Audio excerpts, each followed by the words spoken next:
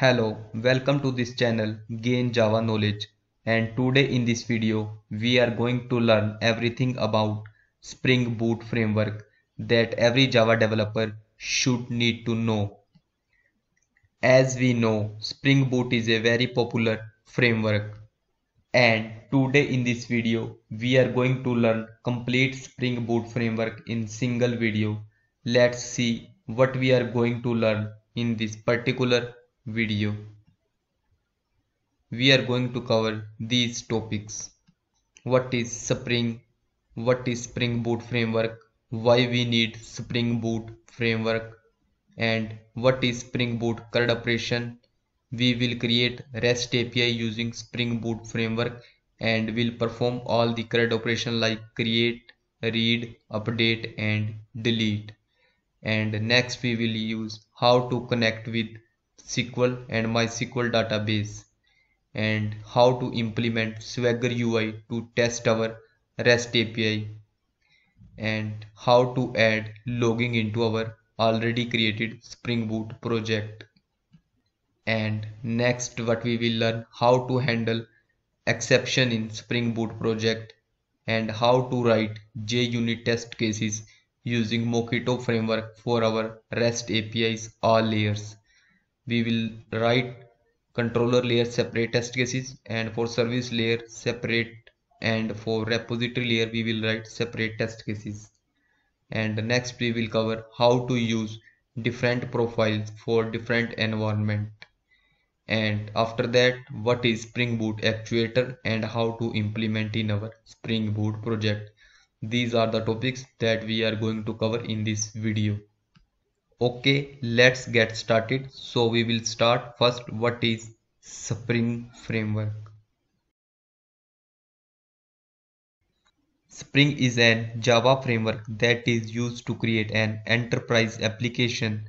And spring framework has provides a lot of modules to make an enterprise application for java developers. Like it has provides spring core spring mvc Spring AOP, Spring Web, Spring Data JPA and Spring Batch modules and we can use these all modules in our Spring project according to our requirement. So if we are using Spring framework to develop an enterprise application then we need to do lot of configuration inside our XML file. For example, if you want to enable annotation support in our spring project then you need to do configuration for this also. And if you want to add hibernate support for this you also need to do some configurations. And if you want to support transaction or caching then you also need to do some configuration. So like this we need to do configurations. And as a java developer if you are using spring framework then you need to do lots of configuration in your project to make your application deployment ready. So after creating your application you also need to deploy your application on any server like application server or web server. For this you also need to do some more work. Spring framework helps in lots of things while developing enterprise application. But we also need to do lots of configuration if we are using spring framework and to resolve this type of problem and to reduce the configuration part of our developer so we can concentrate on our actual business logic. Spring developer has provided a new framework that is spring boot framework. And spring boot framework also using internally a spring framework. And these are the key benefits using Spring Boot framework. No need for XML configuration file, fast and easy development of Spring based application, and the ability to create standalone application, helping to directly embed Tomcat, Jetty or Undertow in application. No need for the deployment of WAR files, reduce amount of source code, easy to start our application, and simple setup and management. Uh, while the Spring framework focus on providing flexibility, Spring Boot seeks to reduce code length and simplify web application development. Spring Boot reduces the time it takes to develop application. This adaptability helps you create standalone application with less or almost no configuration needed. And the main benefit of using Spring Boot framework is easy of dependency management because Spring Boot provides the starter package like Spring Web MVC starter package. So if we have added the Spring Boot starter web dependency in our pom.xml file, then we no need to add multiple dependency to support Spring framework. And Spring Boot starter data JPA, then we no need to add explicitly other dependency of Hibernate framework. So we know Spring Boot Starter Data JPA include all the Hibernate framework support dependency that we need to connect with Hibernate database driver and libraries. So everything will be handled by only adding single dependency in our project. But if we are only using Spring framework or not using Spring Boot framework, then we need to add multiple dependency in our pom.xml file to support Hibernate database driver and libraries. We need to add separately Hibernate core, Hibernate validation, multiple dependency we need to add to support Hibernate framework. And the second main benefit is automatic configuration. And the most powerful advantage provided by Spring Boot is automatic configuration of the application. So after adding a suitable starter package in our pom.xml file, like if you are using Spring Boot starter JDBC, Spring Boot automatically register the data source, entity manager factory and transaction manager beans and reads the database connection information from the application.properties file or application.yml that we are using. So automatic configuration can be completely overridden at any time by using user preference. And the next main reason of using Spring Boot framework is native support for application server. So every Spring Boot application includes an embedded web server and developer no longer have to worry about setting up a servlet container and deploying an application on it. The application can now run itself as a executable jar file using the built-in server. And if you need to use a separate HTTP server, simply exclude the default dependencies. Spring Boot provides separate starter package for different HTTPS servers. Now, as we know, market is moving to follow microservice architecture and with the help of Spring Boot we can develop microservices. So these were the three main reasons why we need Spring Boot framework. First ease of dependency management and second automatic configuration and third is native support for our application server. And there is one best advantage provided by Spring framework is dependency injection. So what is dependency injection? If the underlying server or container dynamically assign the dependent value to our resource, class or object, then it is called dependency injection. The dependency injection is performed at the startup of our server or application. And there is one more important concept is IOC that is inversion of control.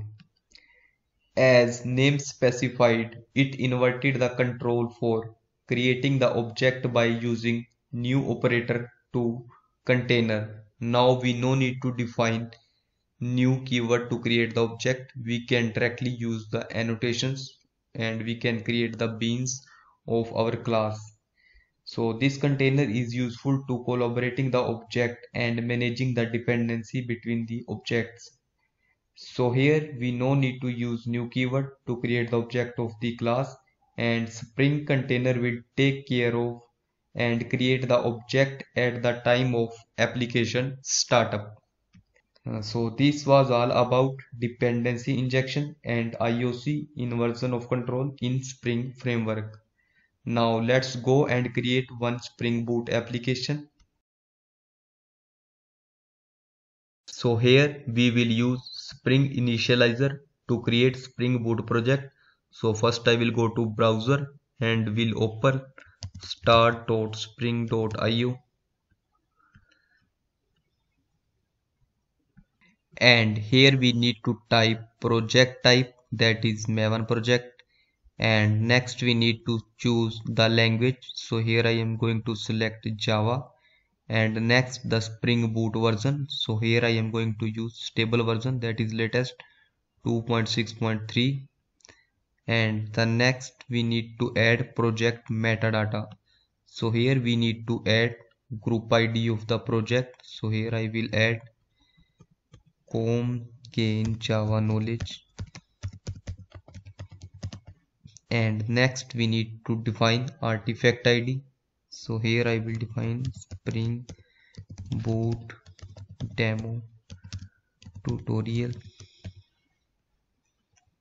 And next so next we need to select packaging jar or war. So here i am selecting the jar. And next which java version we are going to use? So here i have already installed java 11 so here i am going to use java 11 in our spring boot project. So in this our spring boot project we will develop our crud api so here i will add few common dependency that we need to create rest api that is spring web. So here I will add spring web maven dependency. And next we are going to connect with MySQL database. So here I will select MySQL driver maven dependency and other we need to use Hibernate or JPA so here I am going to use JPA starter dependency spring data JPA so here I have just added these three dependencies. So now I will click on generate and will generate the project and I have already installed MySQL database in my system. So you can also download the MySQL database. Download MySQL for Windows so we can download download MySQL installer. And I have already installed. And if you don't want to install MySQL database and do you do you not want to use this MySQL driver dependency then you can use H2 database. Because if you have not installed any database on your system then you can also use H2 database. For this you need to add one more dependency. That is H2 database. So no need to add this dependency. If you are going to use h2 database then you can remove mysql driver but here i am going to connect with mysql database. So here i will not use this maven dependency. So now i will go show in folder and will extract here.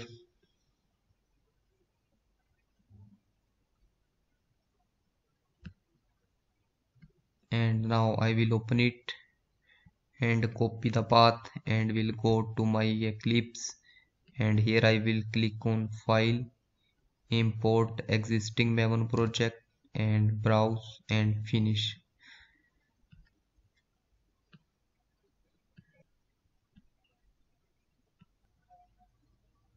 So here we can see our project has been imported successfully and we can check see the project structure. So this is source main java folder and this is our main resources folder.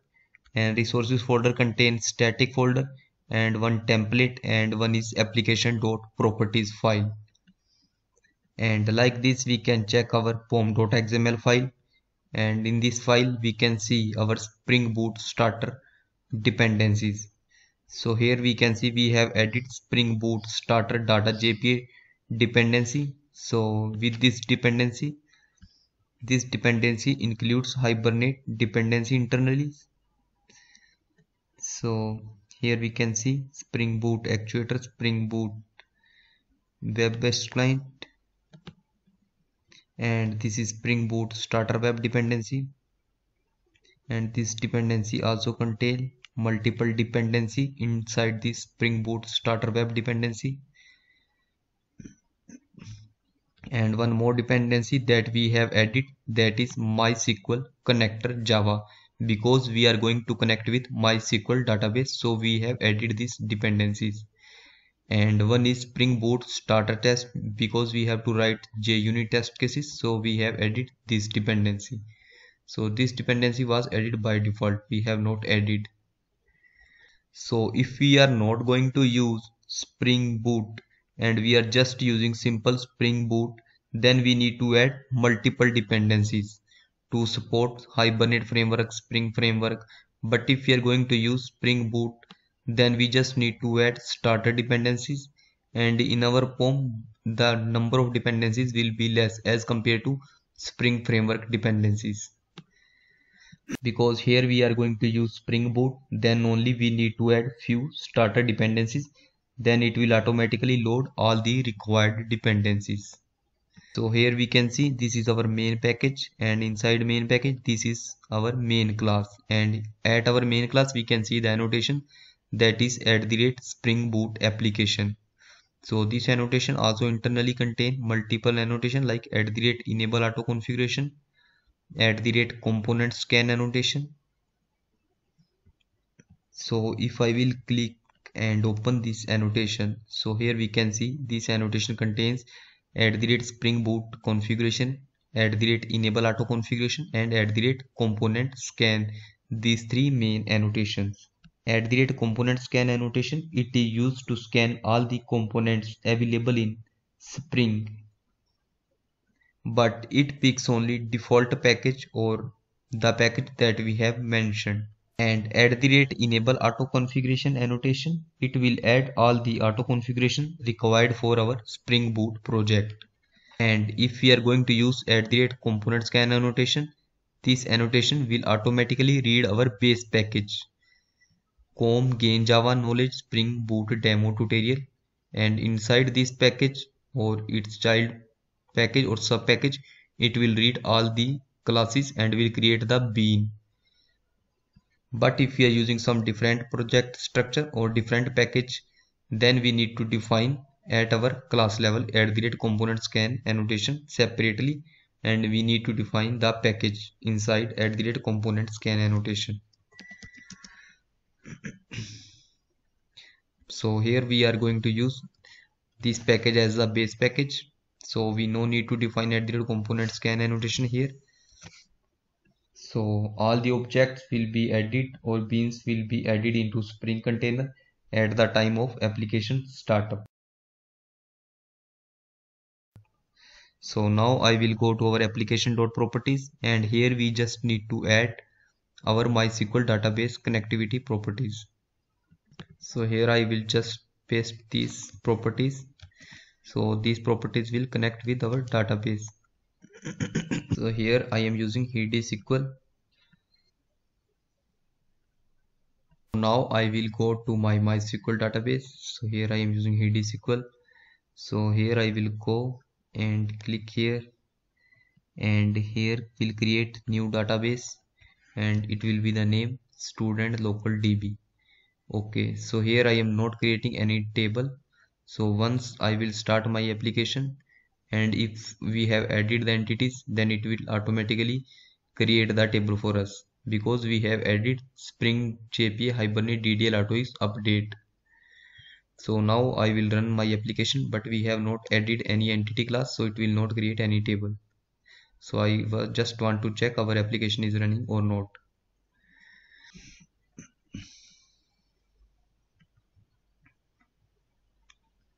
So here we can see our application has started at port number 8080 and here we can also see it's internally using tomcat server to run our application. So our application is running fine with embedded tomcat server. So now we will create sample apis so here now I will create one new controller package. And we'll create some sample API so here I will just create package. Dot controller. So our base package will be same and we have just added controller in the end of our package base package. And here I will create one new class new class that is message controller. And here I will create one more controller class that is student controller and for student controller we will create CRUD APIs so first I will go to message controller and here I will just define annotation. That is at the rate rest controller.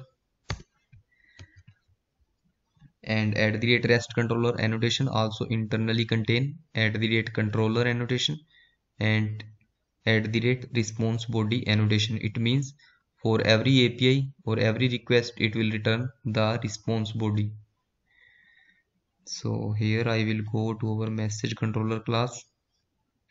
So if we have defined this at the rate rest controller annotation now spring boot will understand and create the bean in container and stored inside our spring container. And at the rate rest controller mainly contains two annotation that is response body and controller annotation. Now here what I will do I will just create one simple rest endpoint and define get mapping. And here I will just create public string get message. So from here I will just return one string value. Welcome to gain java knowledge. Now we have created one rest endpoint. And here inside get mapping we can define our url path also. So here i have just added slash. Now i will stop my server and restart the application. Spring boot demo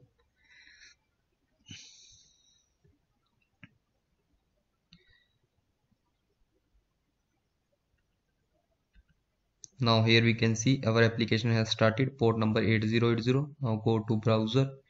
And here I will just open localhost 8080 slash. So here we can see the response. Welcome to gain java knowledge that we have created here. One rest endpoint and this rest endpoint is returning the response back to client so we have tested our REST endpoint from browser. We can also test our REST endpoint from Swagger. Because in these days in industry everyone is using Swagger to test the REST API or we can also use Postman. So here now what we are going to do we are going to implement Swagger UI to test our REST API. So now I will go to pom.xml and inside pom.xml I will just add this dependency. Swagger UI maven dependency. Just paste it here. And here I have added this maven dependency. Now I will stop the server. And we'll restart our application again and we'll check uh, if our swagger UI is working or not. Spring doc open API UI annotation I have added maven dependency I have added. Now I will go to browser. And here I will just type swagger UI index.html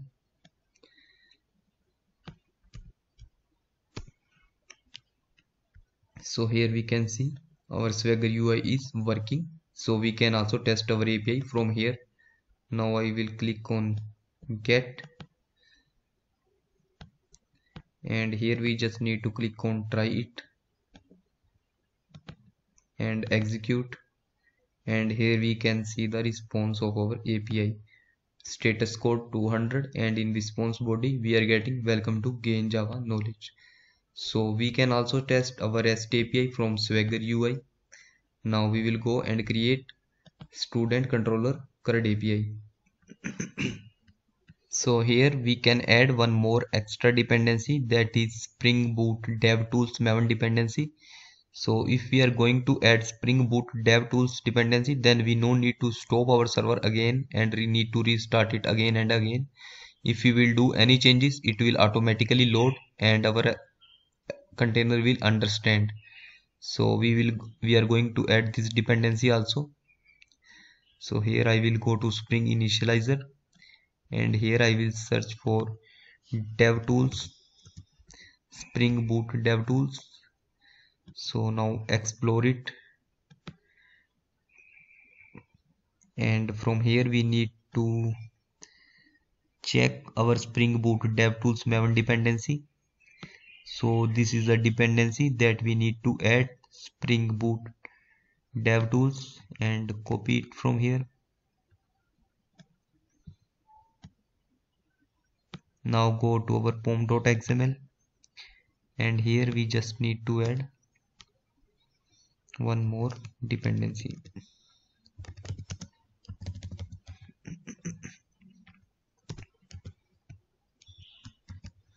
so now we no need to restart our server again and again after doing any changes. It will automatically load all the changes. And this is the project architecture that we are going to follow. We will create controller layer and controller layer will pass the request to service and service will pass the request to DAO layer and DAO layer will interact with database so this is the structure that we are going to follow. And our controller layer will contain our rest endpoints and our service layer will contain the business logic. And repository layer will contain logic to interact with database. Okay let's create package in our project structure. Now here I will go. So here I will create new package. That is entity inside entity package we will create our entity layers entity classes and one more package that we will create. That is service layer. That is service.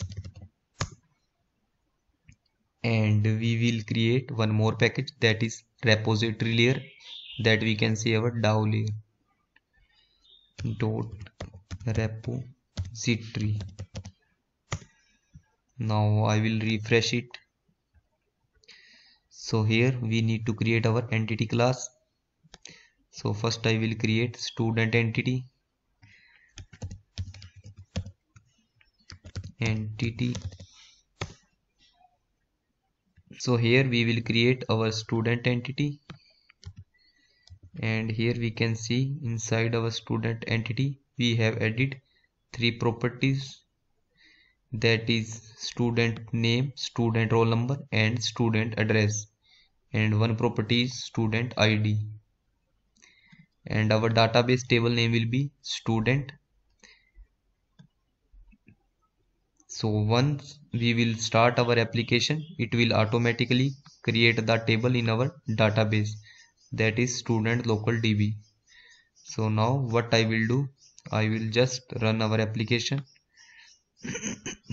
but before running our application what we will do i will create student repository also. So here i will create new class student repository.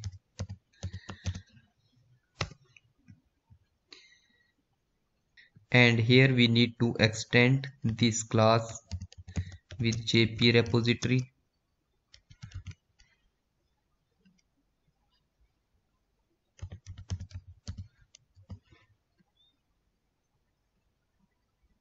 but this will not be class. This will be the interface. Then we can extend student JpaRepository. And here we need to define our entity class. That is student entity. And here we need to define the data type of our primary key. So we will go to a student entity. And data type of our primary key is integer. So we will just define here integer and import.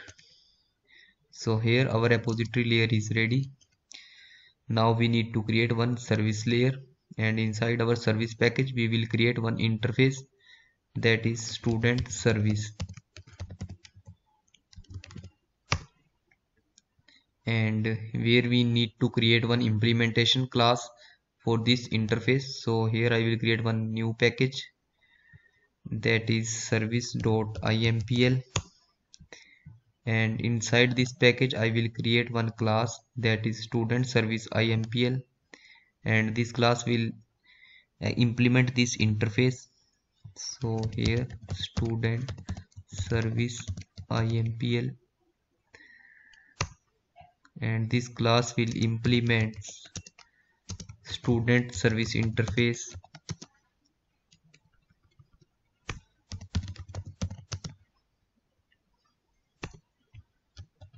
and here we just need to define annotation that is at the rate service.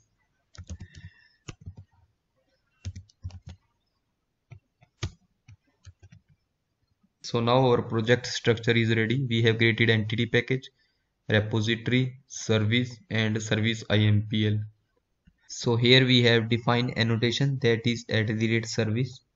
So i will click on this annotation and will show you it's also internally using annotation that is at the rate component annotation and if i will show you the at the rate rest controller annotation it also internally includes at the rate component and at the rate response body annotation so Spring will understand and will create the bean in Spring container for these classes at the time of application startup. Here at student controller, I will define annotation at the rate rest controller. So here I have defined this annotation because this annotation internally contains at the rate controller and at the rate response body annotation. Response body. So here I will just create one rest endpoint to save the student into database so here I will just define public and it will return student as a response student entity because we are not creating any model classes. We are just using entity classes as a model classes. So add student.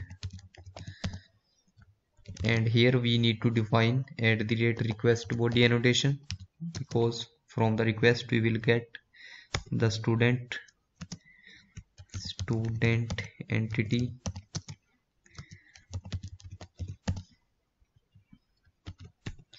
and here we need to define and create the bean of our service class. So here I will just define at the rate auto and here I will define student service interface and will create the bean.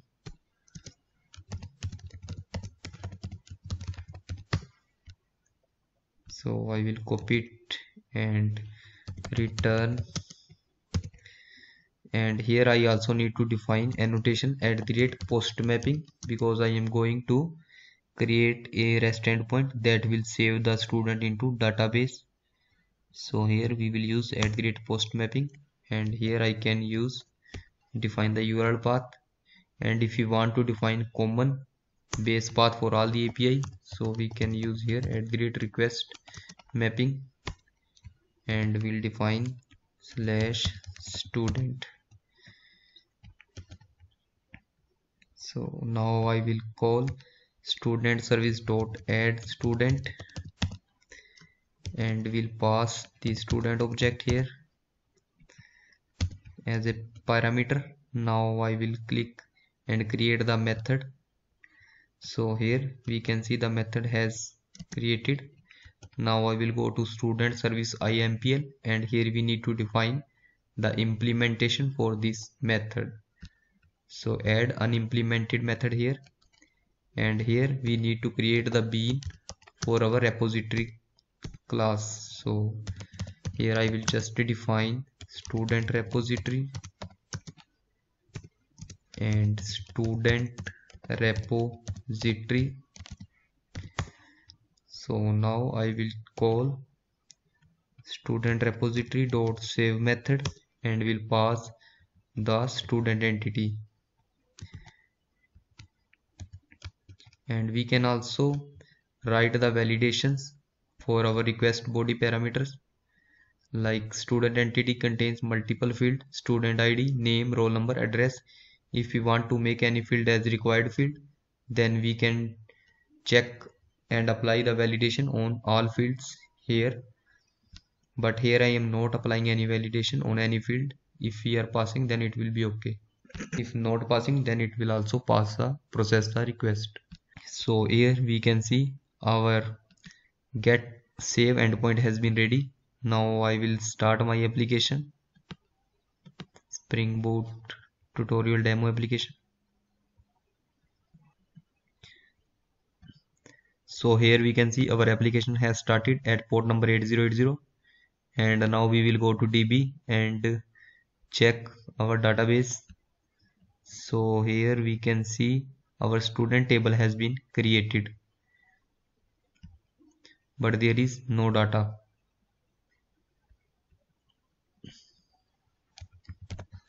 Select star from student. So here we can see id address name roll number. This is empty table. Now we will go and here from browser we will refresh our swagger UI and here we can see our student controller has been added at swagger UI now we will test our student API from swagger UI try it out. And here I will pass the student ID as 10 and student name we can pass any name. And roll number for student and here it will be the address of student. Now we will execute. Now we will check the response. What we are getting from API we are getting 200 and in response body we are getting this ID name roll number and address. Now we will go to DB and execute.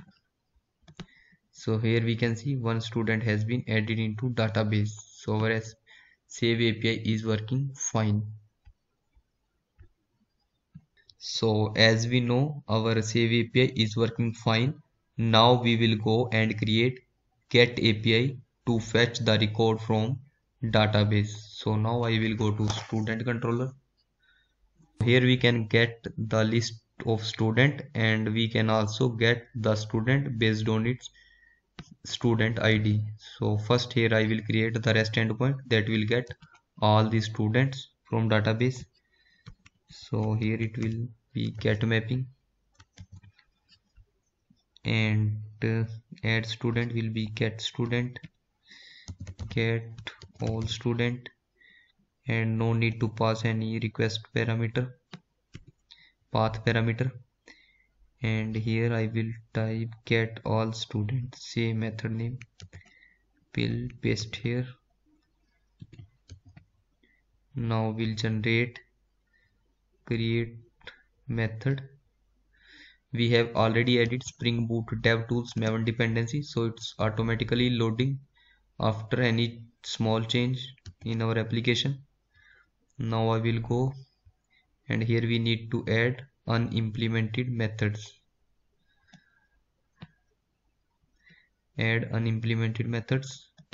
Now I will copy student repository and will call find all method so this find all method will return list of students. So here it will return list of student. Now we need to do changes in our other layers also. Now I will copy it from here and go to our student service. Now I will go to my controller class. Here we also need to do changes so here it's ready. Now we will go and test our get API so now I will go to browser and refresh this.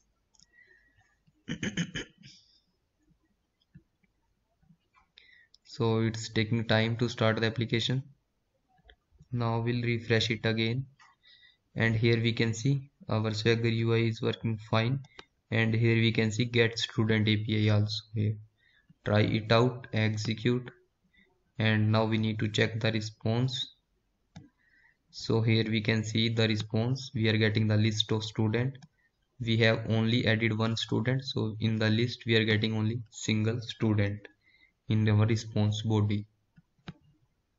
So here we have created two rest endpoint one is for to add the student into database and second to get all the student from database and now if we want to get particular student by id then we will create one another api get student by id or if you want to get the student based on its name then we can also create more rest endpoints so now i am going to create one more api that will fetch the student based on its id so here get student by id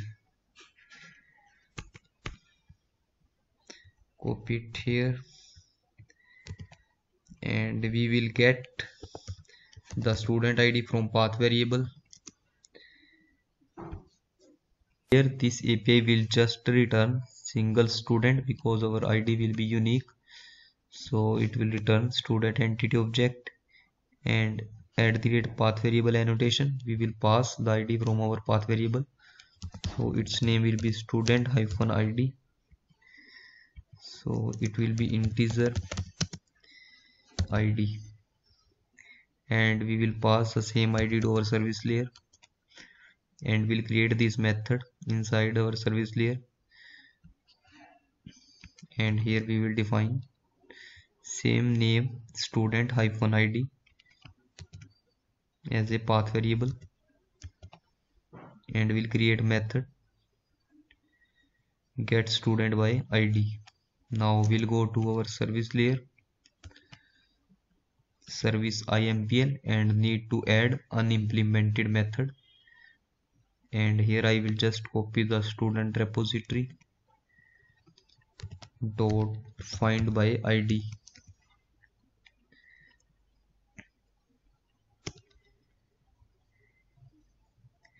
so it will return optional object. We need to call get method to fetch the object from optional.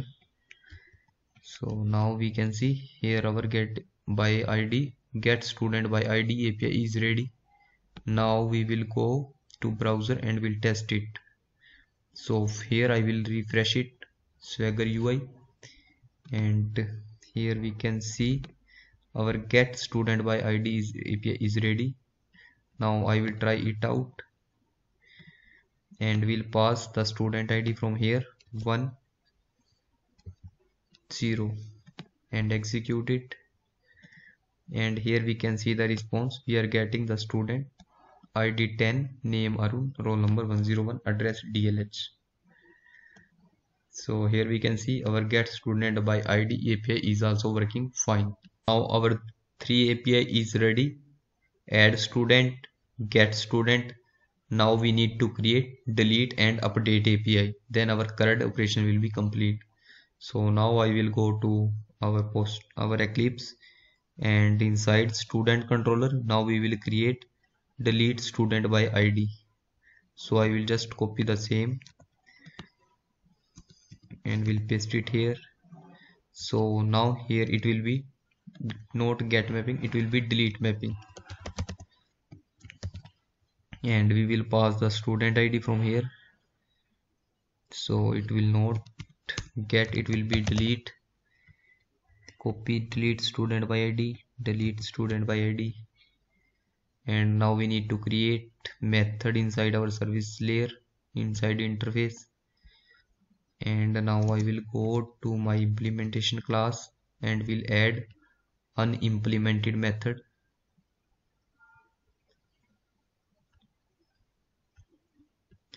so here we can see. So here I will just copy student repository. And we just need to call dot delete by id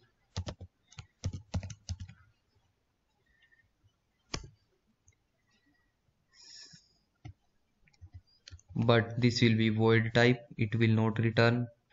So we can type here also void and inside service layer we can also change void and at our controller layer we can also change it void now go to implementation.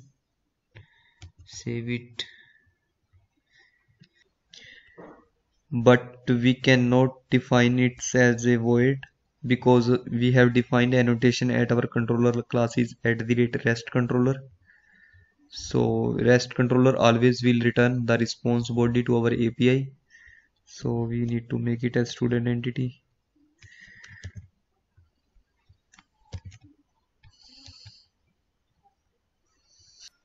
And we'll go to our declaration and go back and delete by id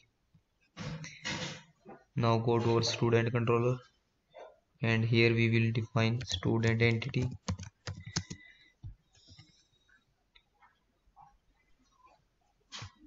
Open declaration.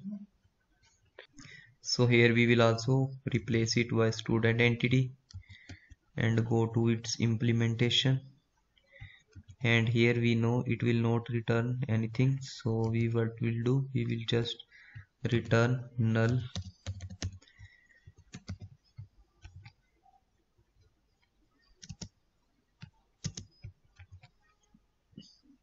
So now our delete API is also ready. So now I will go to our controller class. And here we can see it's showing some compile time error. Missing bracket so here what I will do just add missing parenthesis and now our delete student delete by id is also ready. Now I will go to browser and will refresh student controller and inside student controller we will see here get is already ready. Now I will try it out and here I will just pass the student ID 10 and click on execute. So here in the response we are just getting 200 okay? No response body we are getting? Now I will go to my HeidiSQL and here I will refresh it. And here we can see there is no record because we have deleted the student which id was 10 so here we can see our all API has been ready that is our CRUD API so four API is ready. One is get all student save student get student by id and fourth is delete student by id now we need to create one more api that will update the student detail. Then our CRUD operation will be complete. So now i will go to controller. That is student controller. And here we will create one post mapping put mapping. So i will copy it and we'll just paste it here. And it will be put type because now we are going to update the student detail. So it will add student it will be update student. Copy same method name and use it here. Now we will create this method inside our interface so this is update student and now I will go to our implementation layer. And here we also need to add unimplemented methods. Now I will go here and add unimplemented methods. So here I will copy student repository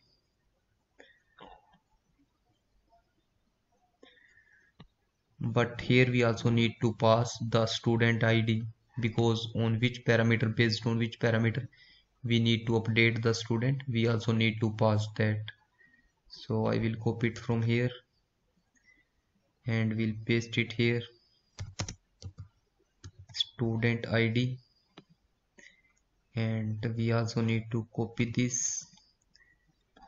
So based on student ID we will update the student and here we will pass the id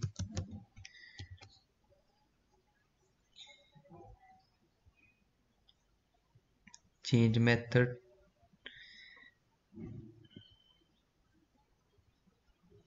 So here what we will do create method. And we'll remove this update student. Now we'll go to implementation layer. And from here what we will do I will just add integer id so what we will do? First we will get the student by id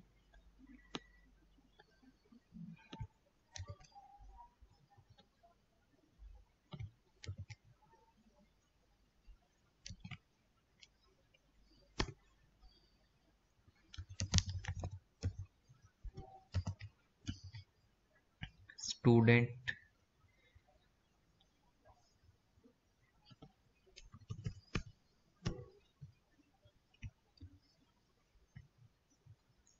here we will get the student object from database.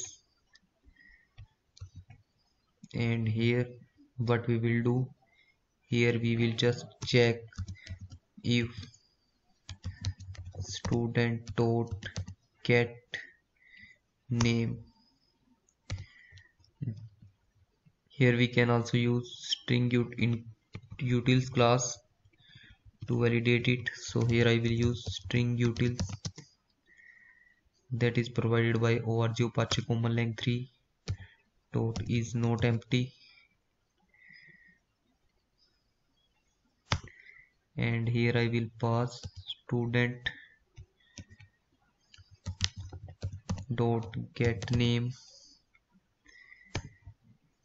If student name is present in our request then we will update student object dot set student name set the name and here we will get student dot get name copy it here paste it here. So here I have applied. If student name is not empty or null then we will update. If student address is not empty or null then we'll update and for same for student roll number. Now our for API that is CRUD operation has been ready. Now I will go to browser and will refresh and test this API from our Swagger UI so here we can see on our Swagger UI our all APIs are done. This is put API but before updating any student we need to save student. So first I will add one student because in our database there is no student is present. So first I will add one student try it out and ID will be 5 and name will be Arun and roll number we can define 101 address DLH Delhi. So now I will click and save execute. So here we can see student has been saved. Now I will refresh run selection. So here we can see student id 5 address dlh name arun and roll number 101 now I will update first student address. Dlh I will update it first. Now I will go to my browser and we'll go to our put API that we have created to update the student detail so this is the put API here we need to add pass student ID 5 and here I will remove this ID because I don't want to update ID I just want to update student name. Vikas. And student roll number will be same. So no need to pass it here. And address will be Hyderabad. Now I will execute it again. Now we'll see the response.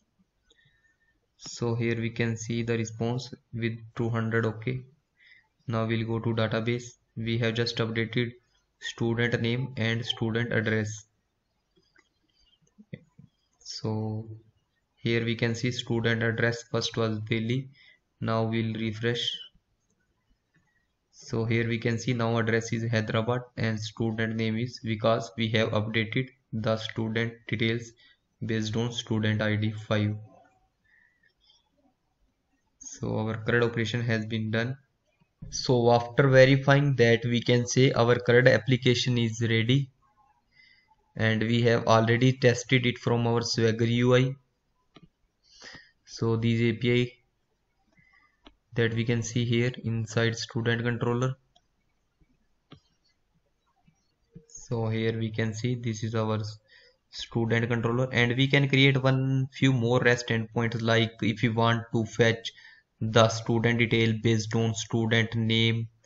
Like we have created first one API that is fetching the record of student based on student ID if we want to fetch the student detail based on student name we can also create so here we just need to define student name. And here student name. And here it will be string. And here we just need to change the name of parameter name. Name. Get student by name will be the method name. Copy this name and use the same here. So now I will go and create one method. Get student by name here. Now I will go to my student service IMPL and we'll create one more REST endpoint here. So add an implemented method. So here I have added. Now I will copy student repository and find by name. That method is not available here so what we will do I will go to student repository. And here we just need to define this method student name. Student entity will be the return type. And find by name. String name. So this method will return the student based on its name and this will be the same same as the property name that we have defined inside our student entity. So i will go here and here we can see it is a name. So we need to use the same property name here. Find by will be the common and name we have to define based which, based on which property we want to fetch the student detail. So now I will go to my service layer and here I will just call find by name. And here we can see we have completed. Now I will refresh it and test it. Go to swagger UI again and refresh it. So now we can see inside our student controller there are six APIs this is the get student by name. So here what I will do we will try it out and we will go to our database. And here student name is Vikas. So here I will just type Vikas and execute. And now we will check the response. Here we can see internal server error ambiguous header method student Vikas. So here we can see ambiguous handler method mapped for student Vikas so now I will go to student controller and we need to make it as unique. So here I will just type name slash and now we'll go to swagger UI again and refresh it. And here I will try it again. Execute and need to check it again. So here we can see the response with status code 200 okay and inside response body we can see id 5 name Vikas roll number 101 address Hyderabad. So we got the response. So like this we have created six APIs in our student controller. And next we are going to learn how to apply hibernate validations at our entity layer. For example here we have created our save student API and if you want to make any field like inside say student what properties we are passing we are passing student name roll number address. If we want to make any property as mandatory field then we can also use hibernate validations annotation. So here what I will do I will use hibernate validations and make the student name as a required field.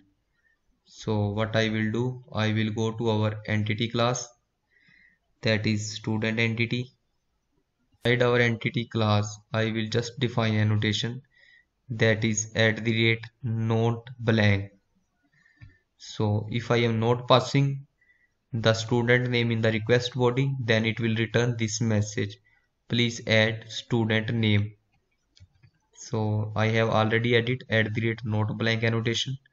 Now I will go to browser and from this I will call add student API that is used to save the student. And here I will click try it. And here I will pass the ID is 6 and student name I am not going to pass. Then we will see it will process the request or not. And roll number will be 102 and address will be HYD so now I will execute it and now we will see the response what we are getting. So here what we are getting name is null.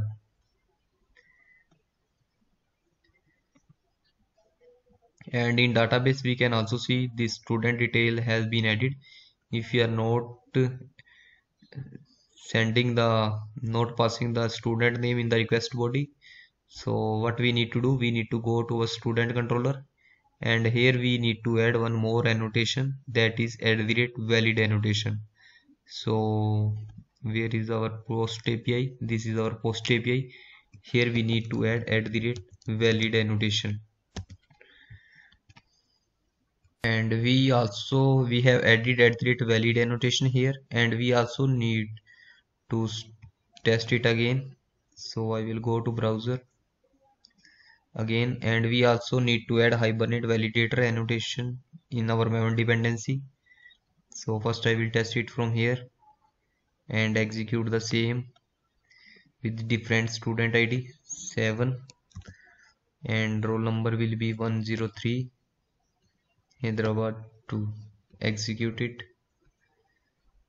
And here we can see we are getting success now what we need to do? We need to add one maven dependency. So here I will go to browser. And here go to spring initializr. And close it. And click on add dependency. And here we need to add spring boot starter maven dependency. That is validation. So now explore it again and copy this maven dependency from here.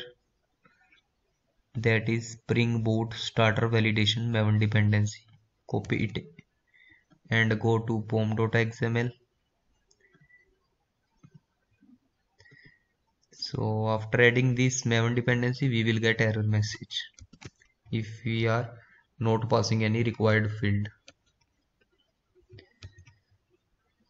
So it will take time to load downloading and downloaded has completed. Now go again.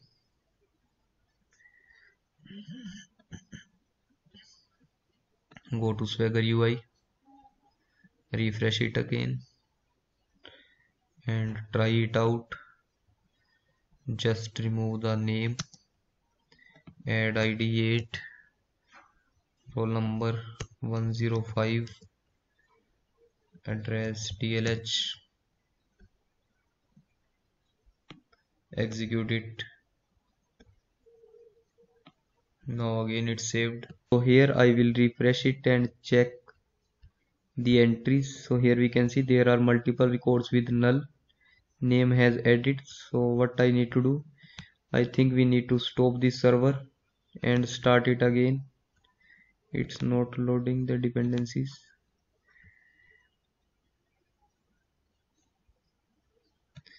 so here I have started application again.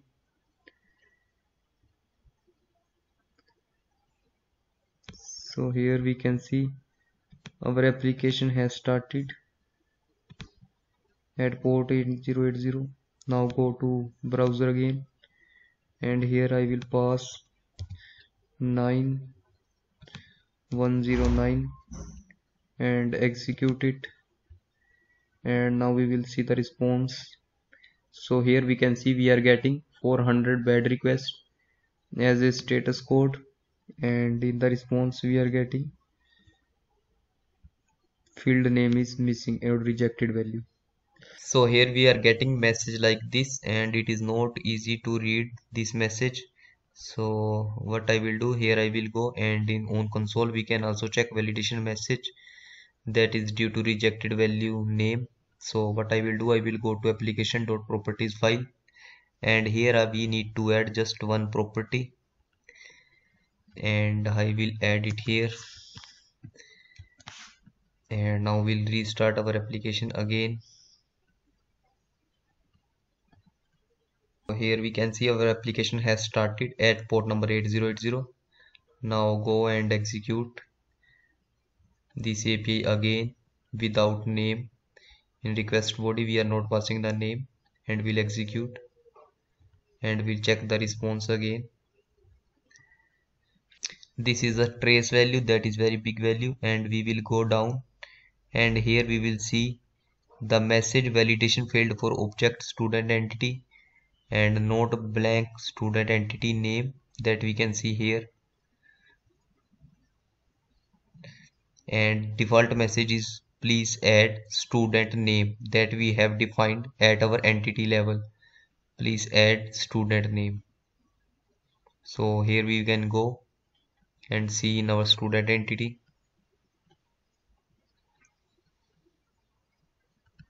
So here we can see please add student name we have defined.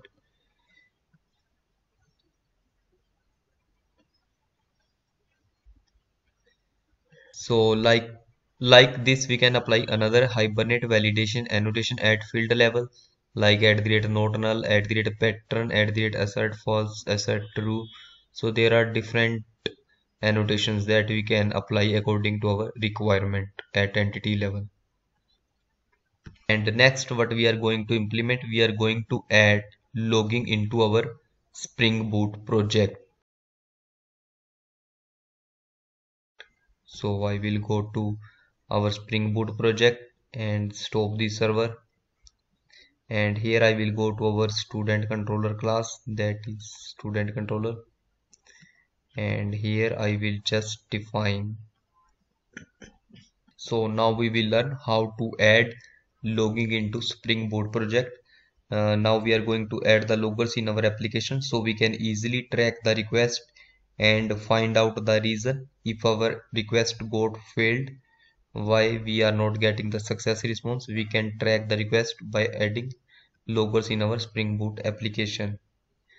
And here we are going to use SLF4J library for to print logs. There are some other library are also available but here we will just use the SLF4J library. So here I will just add. And the logger will be from org.slf4j library and logger refactory will also be same from org.slf4j package. And here I will just copy logger. And we'll add logger.info inside student controller.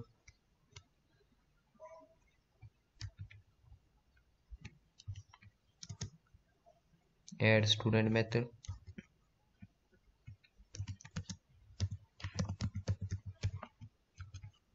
so like this we can print any number of logs in our application.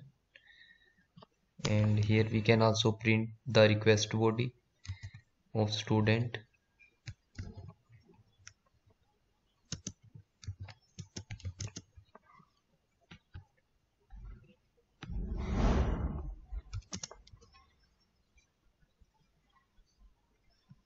And we'll copy the same and can add it here and we'll replace get all student method get student by id and here we will print the student id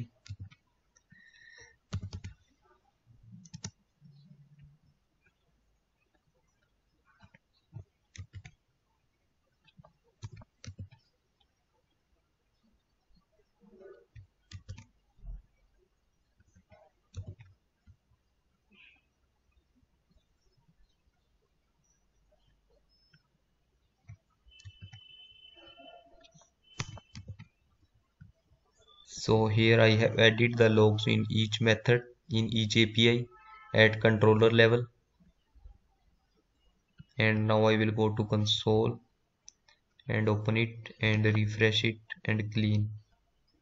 Now I will go to browser and here I will just call any API and we'll see the logs on console get student by ID so here I will just pass the student ID 5 execute.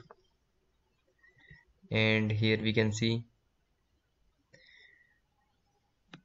I think we have stopped the server. So first we need to start it again.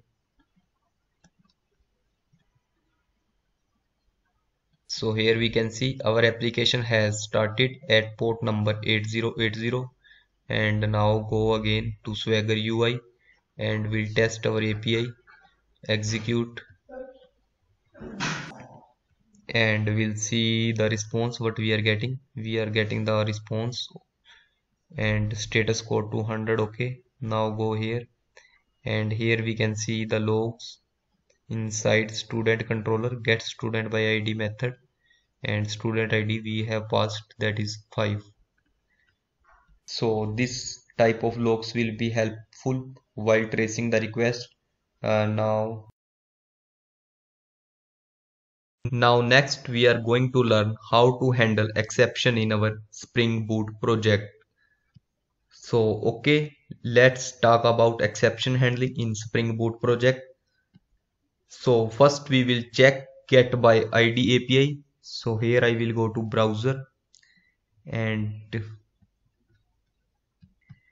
and here i will execute get student by id api try it out and here i will just pass the id of the student that does not exist in database. So first we will check the record in database. Here we can see there is only one student having id 5 so here I will just pass the student ID 7 that does not exist. Now I will execute. And here we will check the response. So here we are getting java.util no such element exception no value present in the trace and if I will go down. And here we will see the message no value present.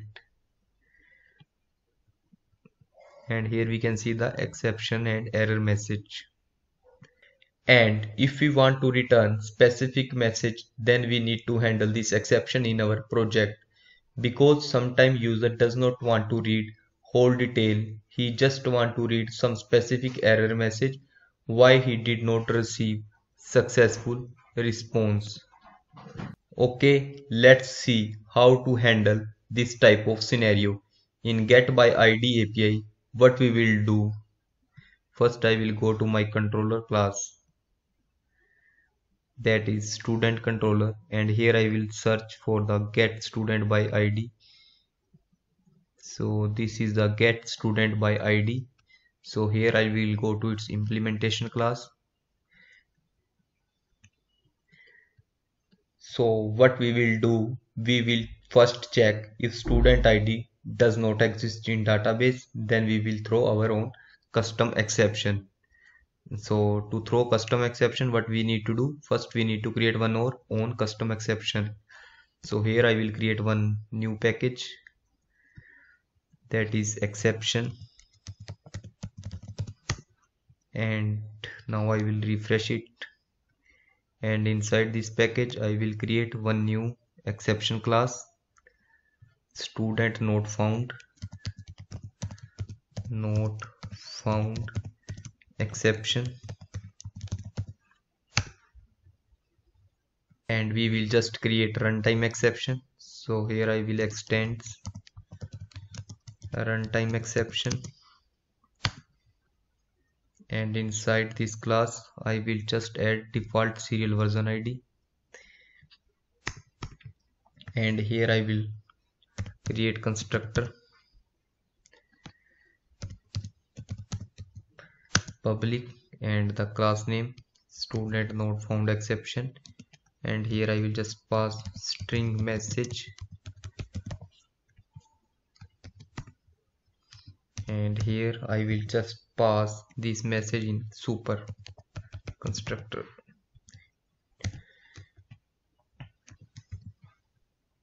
So here I have created exception class. That is our own custom exception. Student node found exception. Now I will go to student controller and again we'll go to get student by ID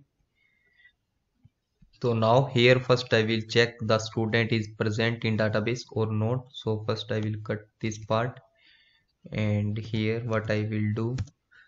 First I will get object that we are returning getting from database. That is student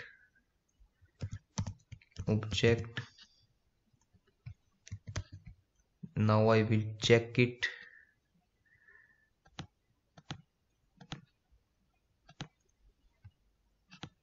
so here I will apply if condition dot is present then okay. If it is not present then we will throw the exception. That is our own custom exception. Throw new student node found exception.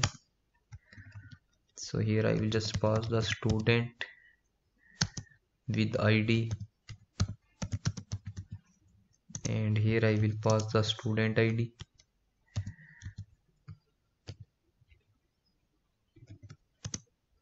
does not exist in database.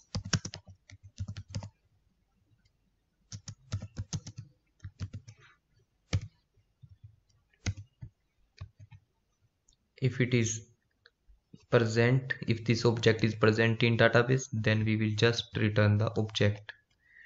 So like this we can handle now I will go to my swagger UI screen and we'll try to execute this API again with same student ID that does not exist in database is 7 and now we'll go back and check the response again. So here we can see the message student with id 7 does not exist in database. So user can easily understand what is happening with this id so here we can see the message but it also contain lots of information.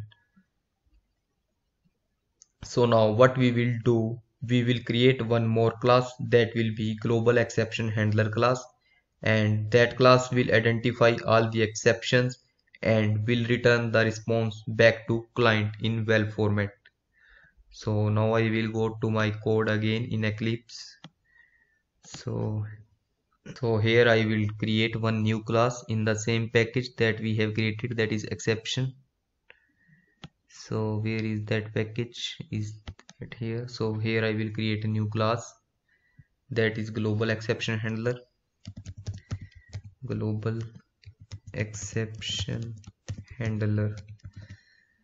So if any exception will be raised in our spring boot project this class will be identified exception and based on the identified exception it will throw response back to client. And this class will be extend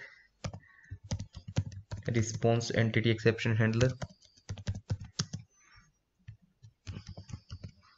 Response entity exception handler.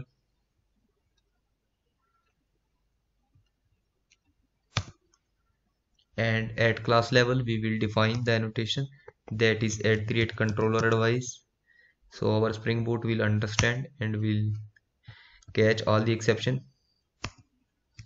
And here we will define at the rate response status annotation.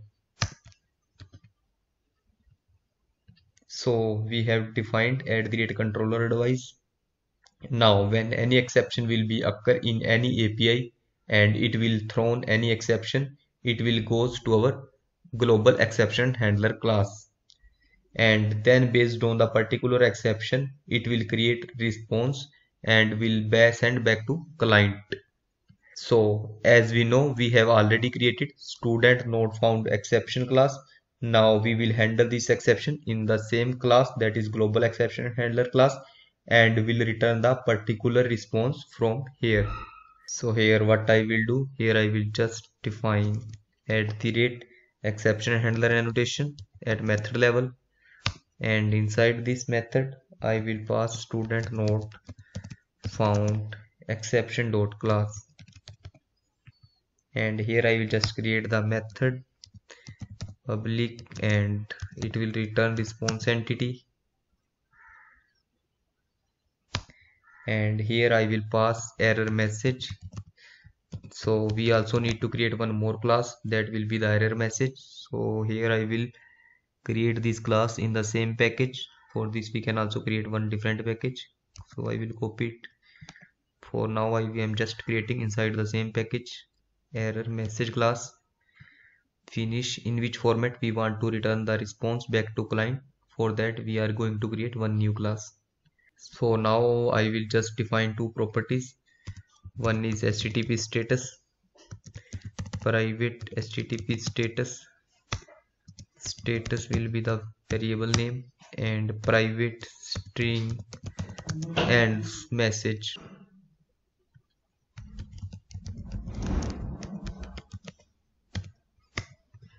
Now we will generate setter getter for these function variables and properties. So click on source generate getter and setter select all generate. And we will also generate we can generate constructor for same class. Source generate constructor using fields. So it will generate automatically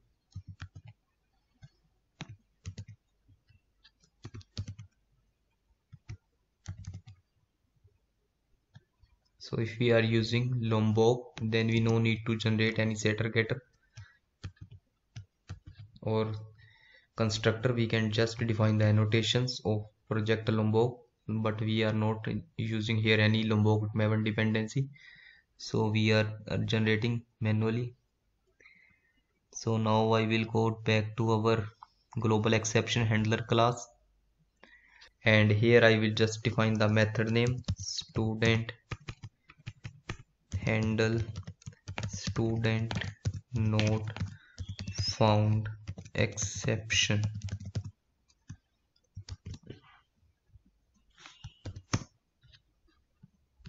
And here I will just pass the parameter student not found exception exception. Web request is the request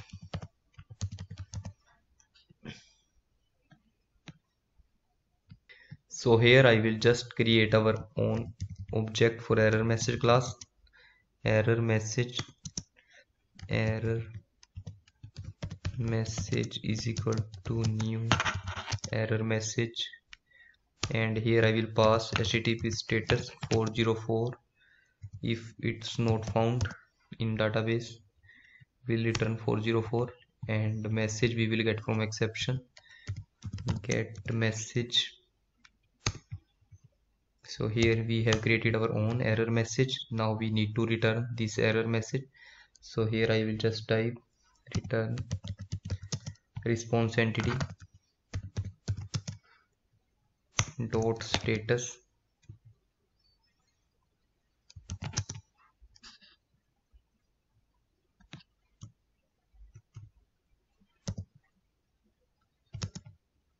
So here I will pass the status not found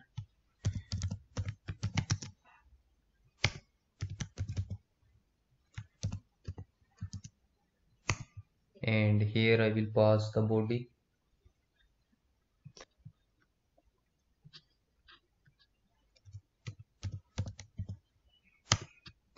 And here I will just paste the error message. So like this we can handle any exception in our global exception handler and can return the response in our own format.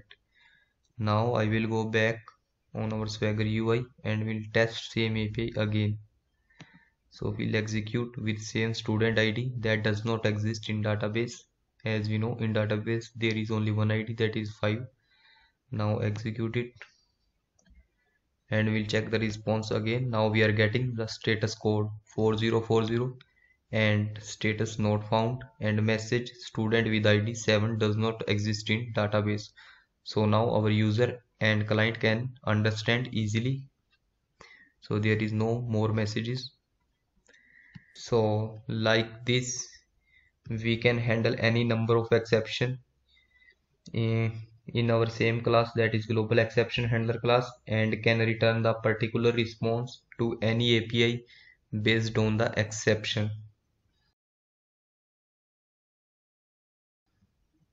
now the next we will we are going to learn how to write JUnit test cases using Mockito framework for our REST APIs all layer that is controller layer, service layer and repository layer.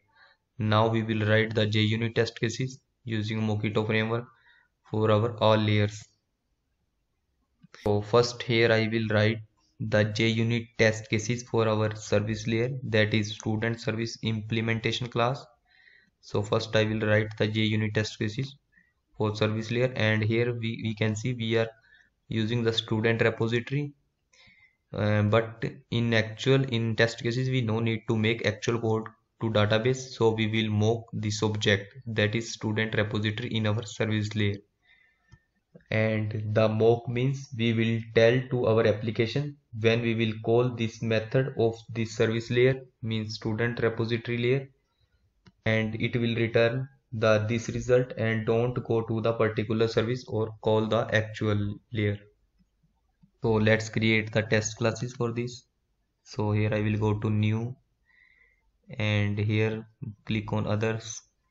And here I will find JUnit test case and next. So it will be the package name and it will be the student service IMPL test and click on finish so here we can see this is the test classes. And here I can just define at the rate spring boot test annotation at our test class. So here I will write the JUnit test cases for a method. So first I will remove this one that was generated by default. So here what I will do I will write JUnit test for get student by ID API and return type for the test cases will be void. Test get student by id successfully. So here what i will do? Here i will just define string student name is equal to abc we can define any name abc so here we are going to write the junit case for our service layer. So first I will autowire our service class here. Student service. Student service. And next we know in student service if we are going to test get student by id so here we can see we are here making call to student repository. But now we are just writing the JUnit test case for our service layer. We are not going to test our repository layer. So we need to make it as mock in our test cases. So here what I will do? Here I will just define at the rate mock bean annotation so here I will create the mock bean for student repository.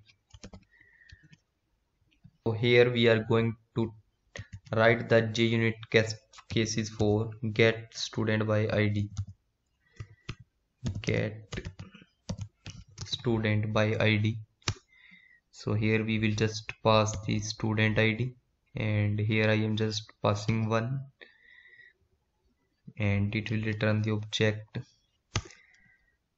student by id but here we know inside our service layer we are also calling repository layer but we don't want to make actual call. And here what i will expect here we will expecting assert all equals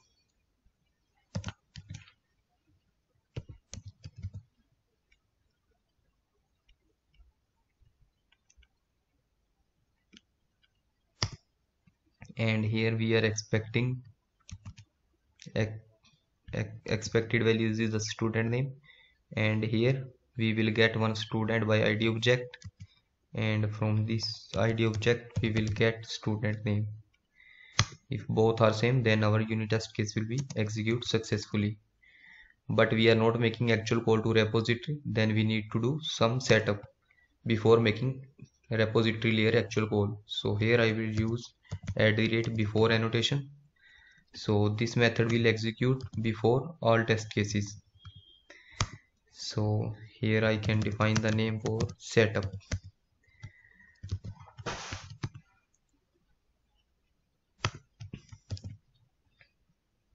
And before each function we want to execute then we can use at the rate before each annotation so now what I will do? Here I will just create the object for student entity.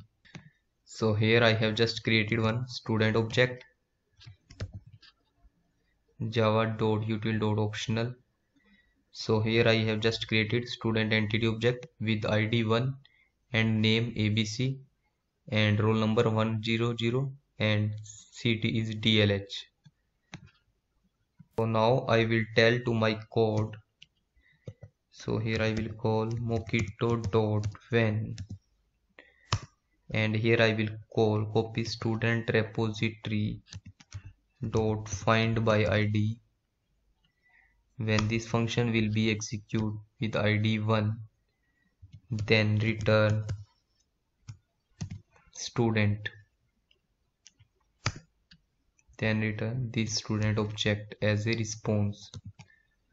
So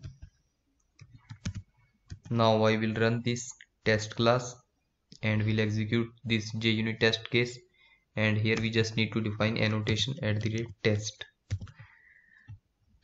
So run as JUnit test case.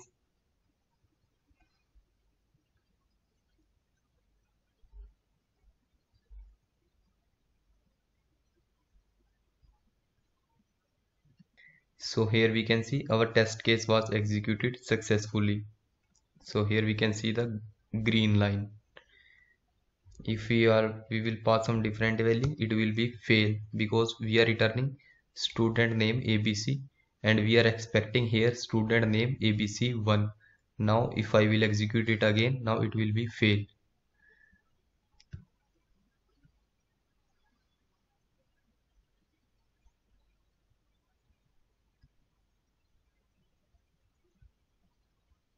and now here we can see the red line because here we were expecting expected name was abc1 but actually we are getting abc and we can also see the database. There were no record added into database also. There were only one record that is student with id 5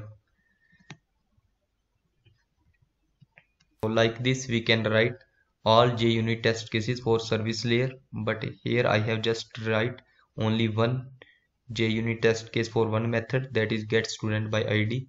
Now I will go and write the JUnit test cases for our student repository layer.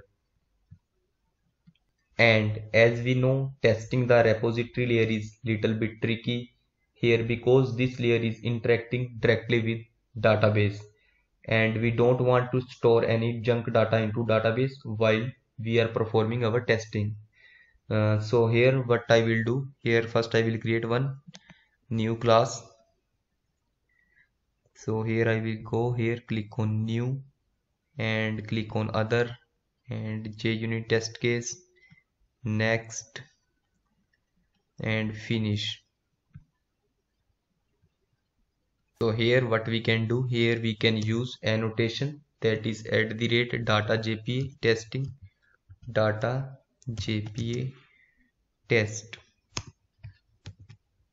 So we can use this annotation for testing our repository layer only. So what it will do this annotation uh, it will do when we will try to persist data into database that particular data will be persist into database at the time of particular test case execution.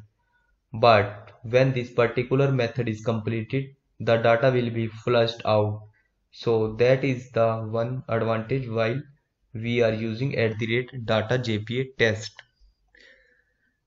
Or there is one more way. You can use different database for testing like in-memory database or containerized database also but here what we will focus we will focus on at the rate data jpa test annotation to test our repository layer. So here we will also validate how data is saving into database while executing the test case and how it will automatically delete. When the test case execution is completed the data will be automatically flushed. Here I have already created one class for JUnit test case of repository layer. Now I will remove the default method. Here I will write the test case for find by id so here I will just define annotation at the rate test. And here I will define public void. Okay find by id find by id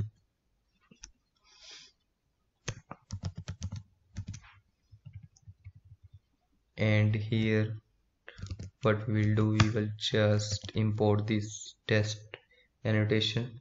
And here I will autowire our repository layer. Because we are going to test our student repository. So here I will import.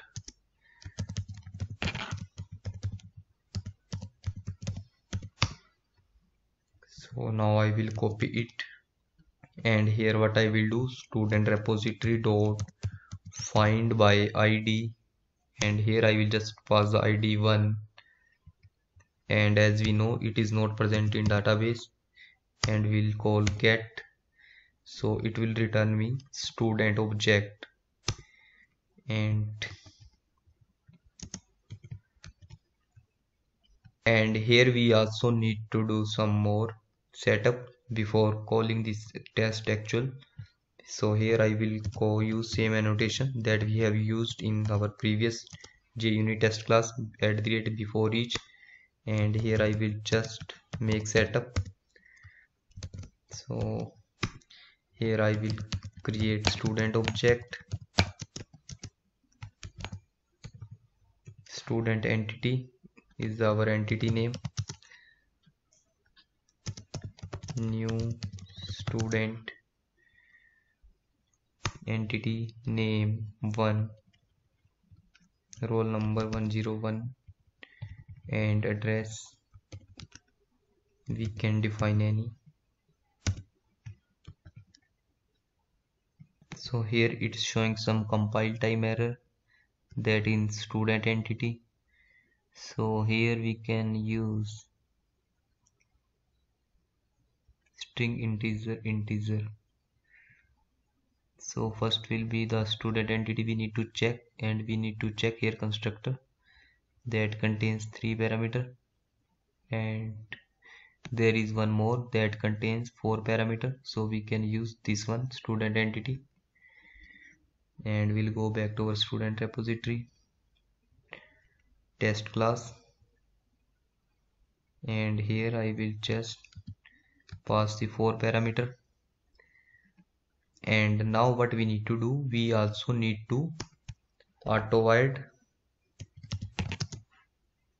our entity manager class. But here what we will use here we will use test entity manager. Test entity manager. So it will persist the data and while after execution complete for test case it will flush the data so here I will use entity manager dot persist. So we will persist the same object into database that is student entity. And once the test case execution complete it will automatically flush the this record from database.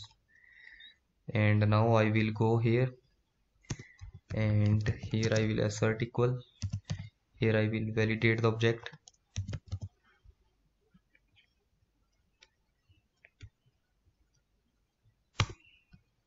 and here I will just pass the student name that we are expecting ABC because here we are saving the object ABC we can write any name XYZ so here I will also define xyz and actual what we are getting student entity dot get name.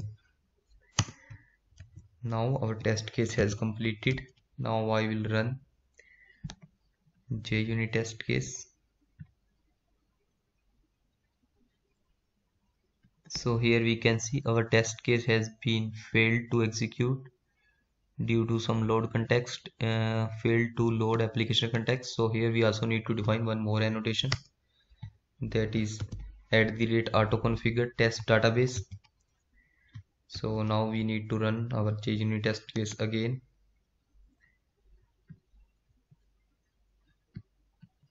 And here we will check it again and here we are getting no value present. And the object was not found because here we are saving the student entity with student id 44 and we are trying to get student with id 1 so it will not available. So what I will do now again execute with same ID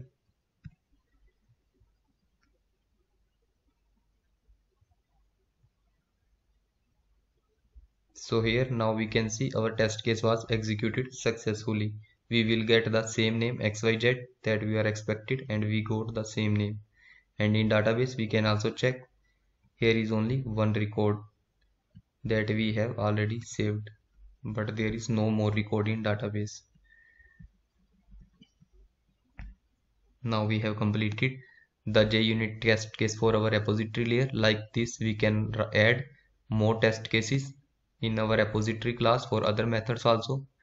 Now I will go and create other JUnit test case for controller layer. So okay now let's go and do the controller testing. So first I will go to my controller class that is student controller. So click on new other JUnit test case next and click on finish. So here one more class has generated that is at the rate that is student controller test. So testing for controller layer is something different and controller layer is called when we hit our rest endpoint from swagger ui then our controller layer execute.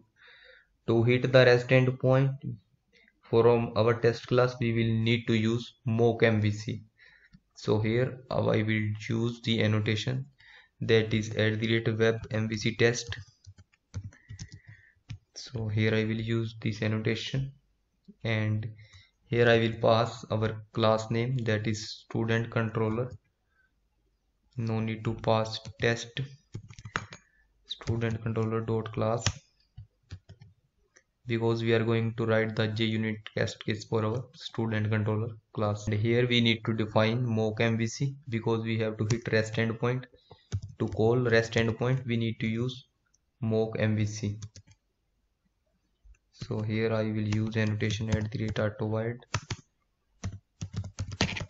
and here I will define mock MVC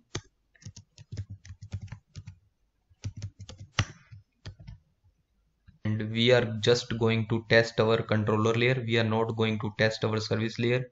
So when it will call because our controller layer is dependent on service layer because inside controller we are calling to our service layer also. So here we can see from our controller class we are calling our student service also.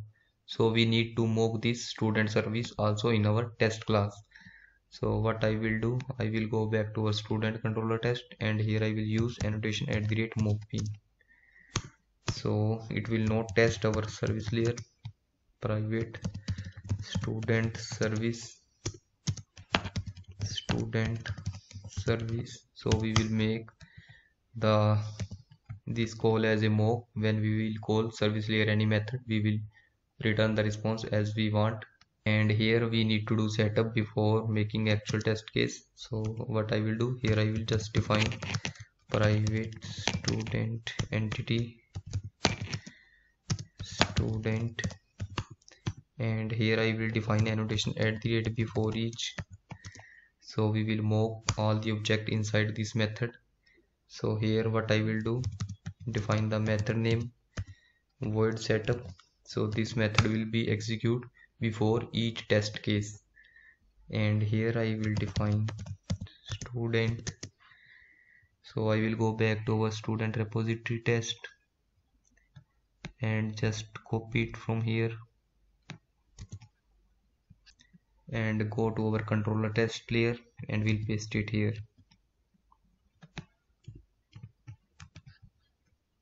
And here what I will do here I will mock the service layer request.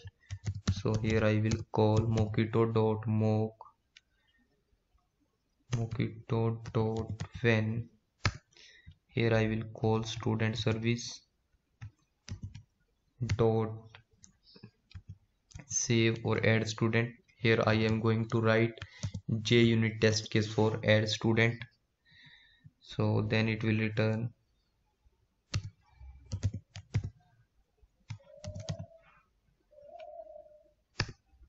This student.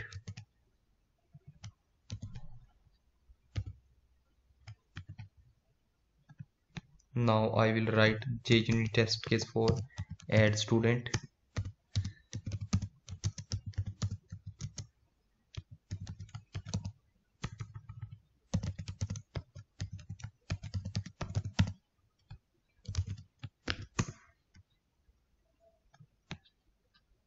so here we no need to mock this object here I will just mock the same object inside our test case.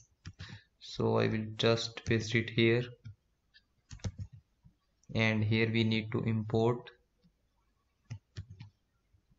So here we what we need to do here we just need to add or throws the exception.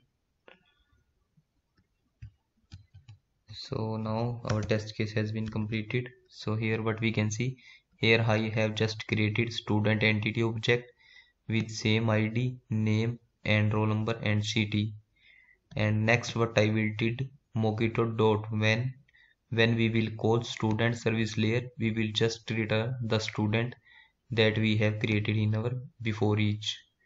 And here what I did mock MVC dot perform.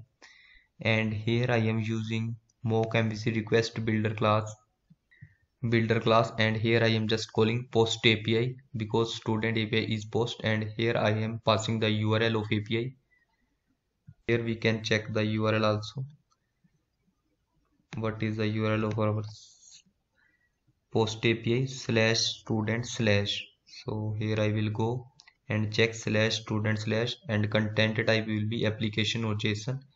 And here it is our request body in the form of string so id 44 name xyz roll number this and address this. So when we will make this call we will expecting the status will be okay 200 now i will just run this test case.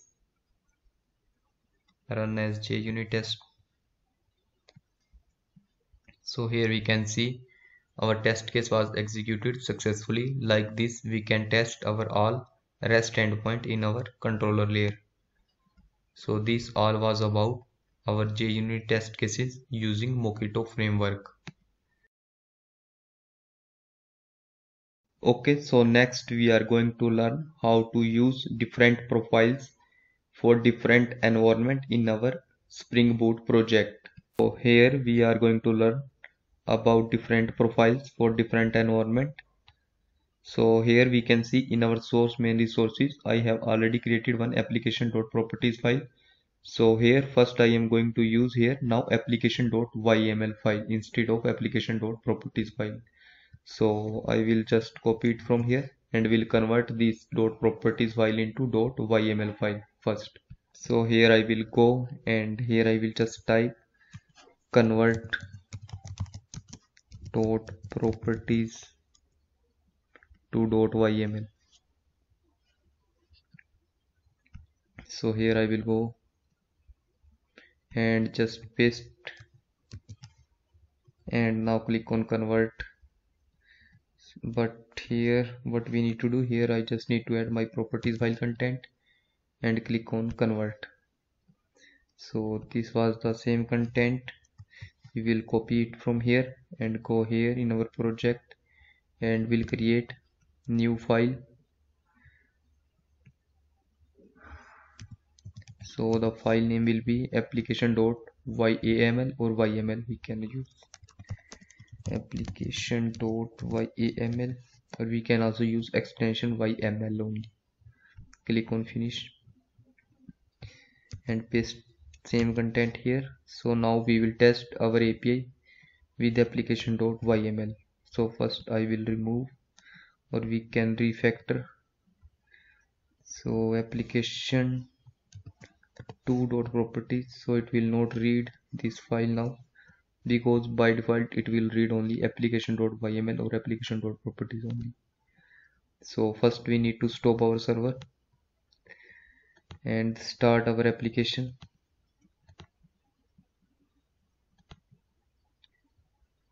Run as java application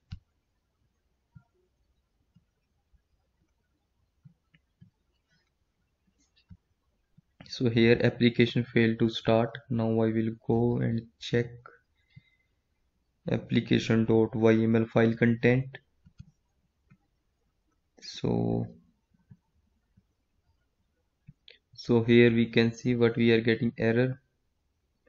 Application failed to start and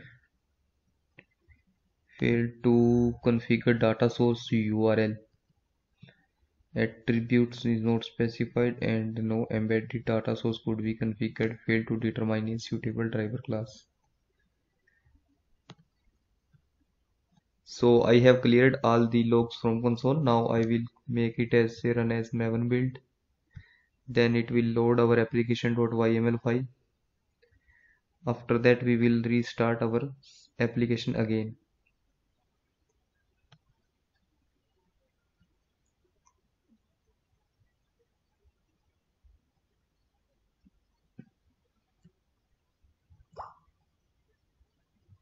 so here build was successful. Now we will start our application again. Now this time it will read all the configuration from application.yml file.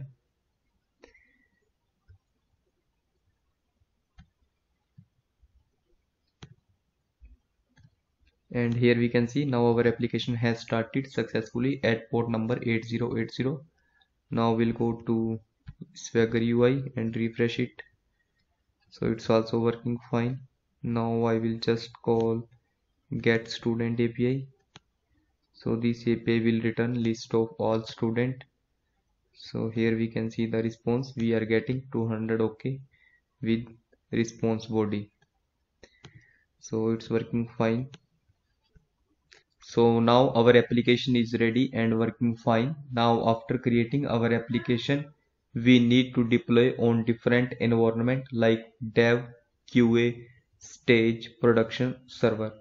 Uh, for all the different environment we need to use different configuration properties. So here we can see it is our application.yml file. We can also create multiple yml file for different environments but today in this section i am going to use same application.yml file for different environment. So how we can achieve in spring for this? We can use spring profiles. Uh, so here what we will do we will create different profiles for each environment in the same file and then we'll give instruction to our spring application which profile we want to execute. So now we are going to use same profile same file that is a single file application.yml file it will contain multiple profiles, one for dev, one for production and one for QA environment. So here what we need to define Spring and in the parallel of data source we need to define profiles. So here I can just define dev. So here we can see our one profile is ready. Like this we can create multiple profiles. So I will just copy same and to add multiple profiles in single file we need to use separator that is 3 hyphen. And we'll paste it here and can give the different name for this profile. And here we can use the different database local qa db and like this we can add more profiles. And here we also again need to use 3 hyphen for a separator and here I will define production. So it will be the local production db so here in three profiles we are using three different databases and all other configuration are same. Now how spring application will understand which profile we need to execute or need to use this we need to tell spring application use this profile. So here spring profile and here we will define active. So we can test our API from here swagger UI so I will execute it.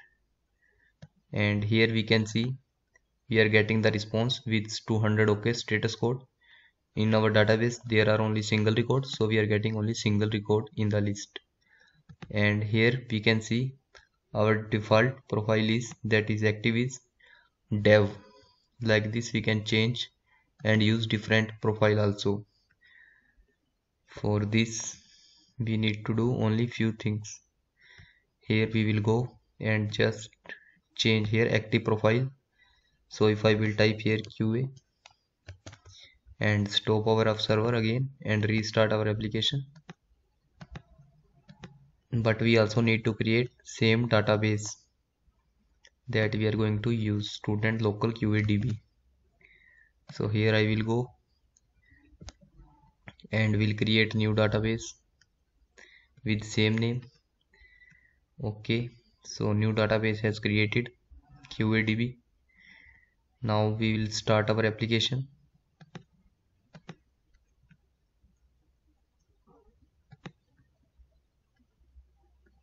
so here we can see. We can also read from console logs. Our QA profile is active. And our application has started at port number 8080 now we will refresh this. And we'll again test the same API get all student. Try it out. Execute. And we'll see the response. Now here we are getting empty response body. Because in our new DB there is no record for student so student table is empty.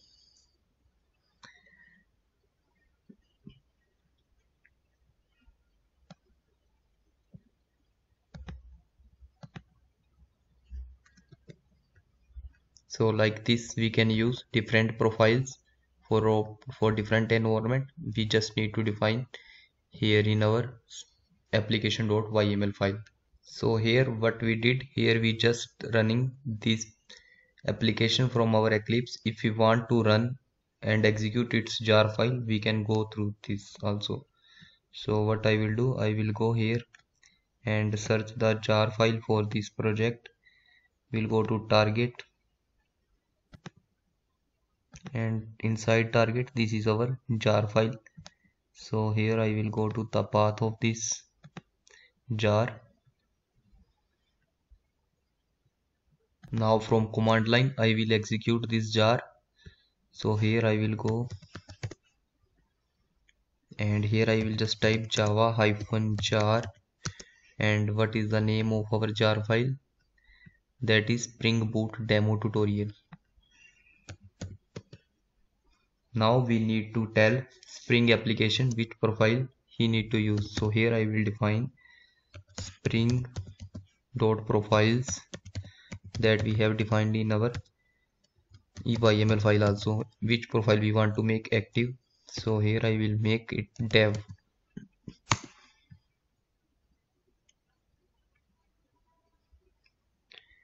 So here we can see our application has started and we are using profile as a dev. So here we can see our dev is active profile. Now we will go and refresh this Swagger UI again. And we'll check if our API is working fine or not. So here we can see our application has started and now we will test our API get all student try it out execute. Now we will check the response. So here we are getting one student because we are using the same database that is student local db and in this table we have stored one student. So we are getting same record from dev dev database.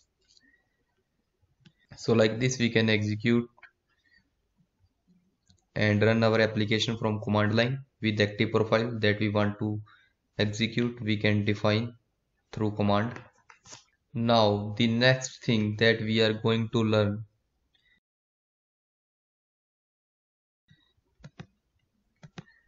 that is what is Spring Boot actuator and how to implement in our Spring Boot project. So we will learn what is Spring Boot actuator.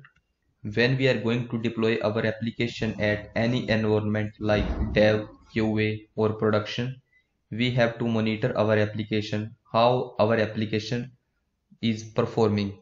Is our application is healthy?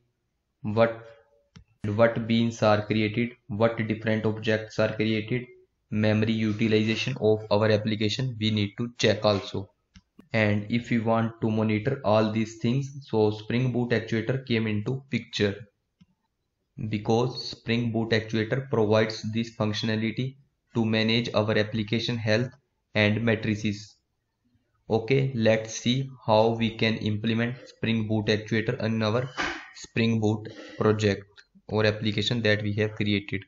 If we want to activate Spring Boot actuator for our application, then first we need to add one Maven dependency in our pom.xml file. So here first I will go to our Spring Boot pom.xml and here we need to add Spring Boot actuator Maven dependency. So here I will go and search for actuator. That is Spring Boot actuator and explore. From here I will find the actuator maven dependency. This is the spring boot actuator maven dependency. So copy it from here and go to pom.xml and we'll just add it here. So here we have just added one maven dependency. That is spring boot starter actuator. So now we have implemented spring boot actuator in our application. So after adding this dependency we have already implemented spring boot actuator and with its default configuration. So okay let's see what is the default configuration provided by spring boot actuator. To check this first we need to run our application. So here i will go and spring boot demo tutorial application will start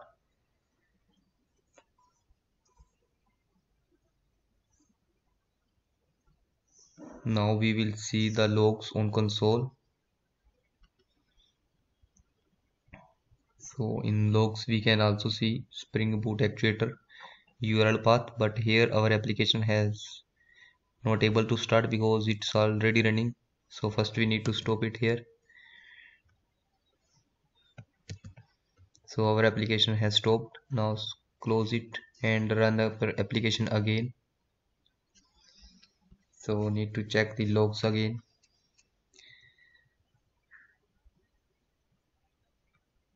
So here we can see our application is going to start. And this is the exposing endpoint bean path actuator is also executed. Now we will go to browser. And here what we will do we will just type localhost 8080 slash actuator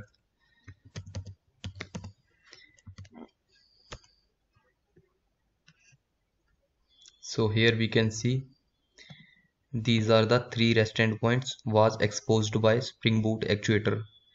So with this REST endpoint we can check the health of our application. So I will click here and we can see the status is up because our application is in running mode and running working fine. So if I will click on this here we can see the same so this was the spring boot actuator. That is the default configuration provided by spring boot actuator. So here we are just seeing the url path slash actuator. And there are lots of endpoint of actuator that are by default disabled so if we want to enable that also for this we need to do some configuration. Okay let's see how to enable it. So first we will enable all the endpoints. Then we will again come back and check again and refresh this path. So here I will go to our application.yml file. And to enable this we need to add management endpoints. So now our default active profile is QA so here I will go to QA profile.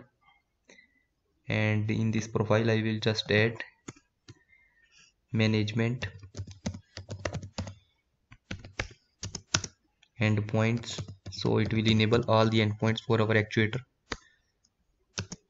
And next we need to define web and exposure.